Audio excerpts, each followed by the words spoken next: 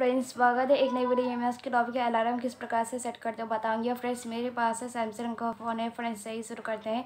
और इसके लिए आपका क्लॉक ऐप ओपन करना है। यहाँ देख सकते हैं क्लॉक और ये ओपन हो चुका है क्लॉक ऐप एंड इसके बाद अलार्म भी क्लिक करके रखेंगे यहाँ पे। एंड इसके बाद प्लस पे क्लिक कर देंगे।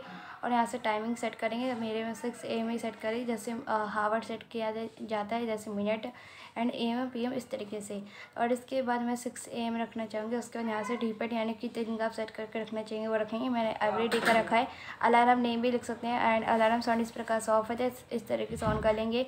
एंड इसके बाद आपको इस पर क्लिक करते हैं तो रिंग चेंज कर सकते हैं। रिंग पे क्लिक कर देंगे। यहाँ से रिंगटोन सेट कर सकते हैं। एंड जो भी आपको पसंद आता है, यहाँ से आप ऐड कर सकते हैं। एंड, जैसे कि मेरे को होम कमिंग होम कमिंग पसंद है। एंड इसके वाइब्रेशन जितना आप रखना चाहेंगे, रख सकते हैं उसके बैक कर देते, वही वाला आपका सेट हो जाता है, देख सकते हैं। जो आपको जो भी आपको पसंद आता है, उस पर क्लिक करके बैक कर देते तो वही आपका सेट हो जाता है। एंड इसके बाद आपको ही, और ये टाइम जोन कितने मिनट तक आप उठ जाते हैं, वो आप ऐड कर सकते हैं, कितने मिनट तक आपका बजता रहे अलार्म और कितने बार। तो फ्रेंड्स वो आप यहाँ से ऐड कर सकते हैं एंड इसी तरीके से आप अपने फ़ोन सबको सेट करने के बाद आपको सेव पे क्लिक कर देना होगा, और इसके बाद आपका अलार्म सेट हो चुका, देख सकते हैं। इसी तरीके से आप अपने फ़ोन में अलार्म सेट कर सकते हैं। फ्रेंड्स प्लीज़ मेरी वीडियो लाइक कर चैनल को सब्सक्राइब कर फ्रेंड्स तब तक के नमस्कार।